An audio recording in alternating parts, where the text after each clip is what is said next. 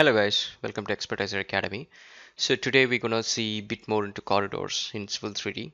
Um, so we have already seen how to create a corridor, simple corridor. Please check my previous video if you need to uh, refer to it. And now in this one, we're gonna see how to create um, the corridor surface and uh, how to create a datum surface, how to create a top surface, and uh, how to create get the volume comparisons and all this kind of stuff. So let's get through this. So this is actually our uh, corridor uh, so you can go to object viewer you can check your corridor and uh, which is all fine. So now if you see uh, the layers that we're going to create the surface is one which will be riding on top which will be riding on the top string which will go just onto all the top strings and another one will go to the bottom strings. So that will be the datum surface so now let's get through this first thing is uh, you select your surface and then you get the ribbon on the top and um, so let's quickly run through some of the basics one thing is your um, corridor properties if you go in there uh, generally you will find a whole bunch of tabs um, that you can refer to things. So first is your corridor information where you can change style. Unlike other things such as alignments and profiles where you change your style and it actually affects your actual object on the screen, corridors don't work in that way. So we have to get through something called code set style, uh, which I will go through in a later lesson. So next one is uh, parameters. So this is all the parameters that is actually uh, connected together to create the corridor. So which alignment are we using for the horizontal control and which one are we using for the vertical control, the assembly set and then your starting chainage, ending chainage, frequency targets, and all this kind of stuff.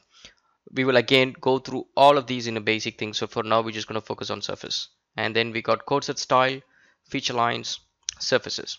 So now for creating a surface, there are a few ways that you can do. So one is you can get in here and um, you can create a surface. And um, so the main thing that we want to achieve here is um, we're gonna create a surface and that has to contain all the links which is going on top of the corridor and then create another surface which will have all the links which is going on bottom of the corridor. So what is exactly a link? So now if I actually go to my subassembly so this one this lines all the outer lines so these are called links. And these points all those ones are called points and inside that we got shapes. So now if you want your corridor surface to be created for all the top links then it has to follow all the top lines. So not the lines underneath. It should go from here here here here and this way. So that is the links. So let's go here go back again to your corridor properties. Now go to surface. So now from the left as I always say uh, go from the left to right so that will make it easier. So first step is going to be creating a corridor surface so we have created a surface and make sure that you give it a name. So I'm going to give this one as top surface. And uh, by default the surface style will be set to no display. So this will be a little thing. People may not notice this and then once they have done everything right and they may not see the surface. That's because the surface is created it's just not displayed on the screen. So I'm just going to change this to uh, just always have a surface which is different from what your other surfaces on your screen. So that way you know you can easily distinguish them so I'm going to choose um, sign triangulation since this one is um, contours and that is done. So now remember if you click on apply OK it is going to create an empty surface because there is no data added to it. You need to add the links. So I'm going to choose there are different types of data. One is feature lines. Feature lines are lines which is running along the corridor and this is the links which is running across the corridor. So we need the links and then the top code is the one that we're going to use and then click on add so once this is done hit apply rebuild corridor hit ok and there we go. So we got the surface created and let's go and check your surface. So now as you can see it has actually created the top surface. So it is actually going on the top which is fine. But the only problem is it is not stopping when there is a curve because it's basically doing triangulation. So it sees a point here and then it sees another point and then for each and every surface there is actually a parameter that we say what is a maximum uh, triangle length and if it falls within that value so it will actually create a triangle. So we need to get rid of these portions. So now for that we need to add something called boundaries. In the surface exercise I showed you how to add an outer boundary inner boundary. The similar logic is what we're going to use. So I'm going to pick your corridor. So now another point that you can also see is right now see there is multiple objects on top of each other. So if you don't know how to pick your specific object just turn on your selection cycle. So in the footer uh, the selection cycle is one of those little icons. Let me turn them on. So you can go to the hamburger icon to turn them on. And this is gonna be selection cycle right up here.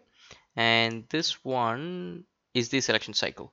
So if it is turned on so when you actually go back to your objects you see there is you get a little cursor. So that means when you click now it'll actually show a pop-up and then tells you what all the objects under the cursor. So I'm going to choose the corridor and then I'm going to the corridor properties. So now the surface is created. I go to boundaries and then we got the surface here. Right click add automatically. And then what type of boundary we're going to add so I'm going to specify the outermost one. So the daylight is the outermost one. So I'm going to say add automatically and then I can choose daylight. You can also choose interactively. So you can go and pick those ones or um, you can even create a polyline and you can add them as well. So I'm going to choose add automatically and daylight.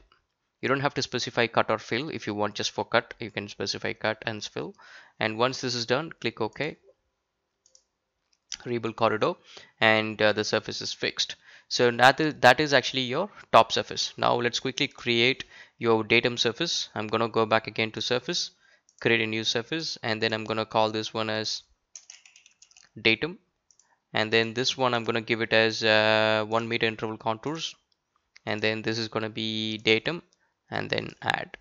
And then click apply rebuild corridor and then go to boundaries. Do the same thing right click add automatically and then daylight. Click OK rebuild corridor.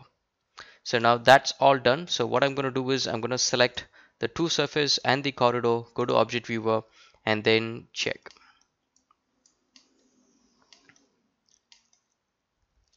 Okay so now as you can see so the top surface is going on the top. As you can see it's going on the topmost links and the datum surface is having a bit of an issue. So as you can see that is actually your footpath so from that point it is not actually respecting the the another point up here. So that the reason being is the daylight might have the datum uh, and the top at the at, at this point here. So it's not actually respecting this another datum point here. So we need to force this one to go through this. So this is called backlink correction. So now let's go back again to the corridor. So I'm going to select my corridor corridor properties. And now um, so I'm going to my surface and uh, the issue is with the datum surface and this is your overhang correction. So click on none and then I'm going to force it to look after the bottommost links. Click OK click OK and then do REA just in case if it doesn't refresh and then select all three of them and then go back to object viewer. So now if you select them and then if you go to the side elevation so you can see your surface is actually going through the bottom point. All right guys so that is for today and uh, for this lesson and then we'll continue with uh, other lessons in future. So if you have any questions let me know guys and um, follow the channel spread it around and so we can do more videos we can spend a bit more time together. All right guys thank you so much. Have a great